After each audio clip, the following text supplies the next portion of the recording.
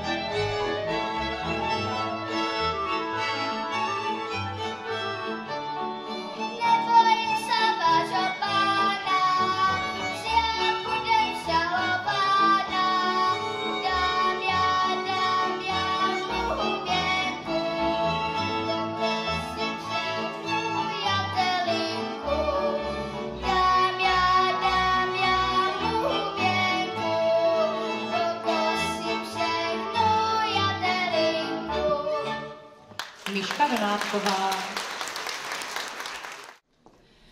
A porota byla letos taková velmi přejiná, protože opět eh, rozdělila druhé místo mezi dvě děvčátka, takže pro druhé místo si opět ručku v ručce můžou přijít Lilianka Nováková s Michalkou Donátkovou.